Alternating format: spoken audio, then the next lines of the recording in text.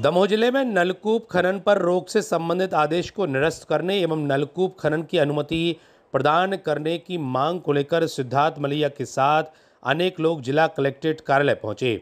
दमोह के किसान ग्रामीण पहुँचे और उनके द्वारा औसत वर्षा होने के कारण फ़सलों को सिंचाई की आवश्यकता का हवाला दिया गया। साथ ही अपने खेतों में नवीन नलकूप खनन करने की मांग भी की गई।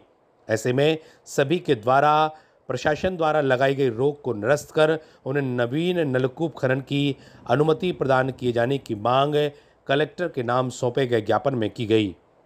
Bureau report ACN news.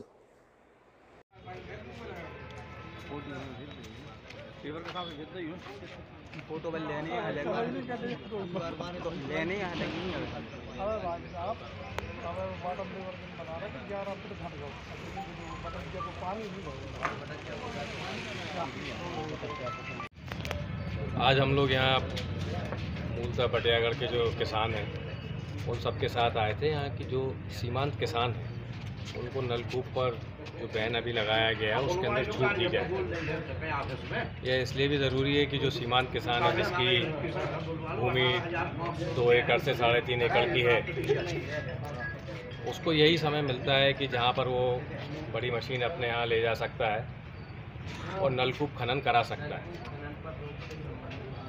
इसमें दूसरी बात ये भी है कि कपिल धारा का कुआँ, अगर उसके ज़मीन के 100 मीटर के पास है, जो कि किसी दूसरे किसान का पहले हो चुका है, तब भी उसे नल कूप खोदने की अनुमति नहीं होती है जनपद से और उसके लिए उसको कोई सब्सिडी भी नहीं मिलती है। तो इसलिए भी ज़रूरी हो जाता है कि अगर उसके पास उसने साधन बनाया है तो उसे नलकूप खनन करने की इजाज़त दी जाए।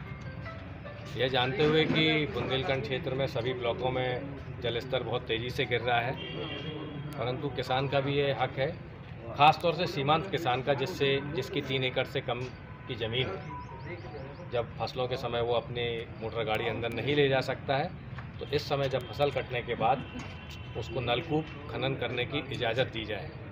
इसमें कुछ बंदिशें हो सकती हैं कि उस समय वो अपनी मोटर नहीं डाले या उसका मोटर डालने का समय बाद में हो। इस तरह की बात तो हो सकती है, परंतु इस बात नलकूप खनन से अगर वो वंचित रह जाए तो उसको बारिश और दूसरी फ़सल के समय अपनी फ़सल का नुकसान करने के बाद ही ये मौका लग पाएगा।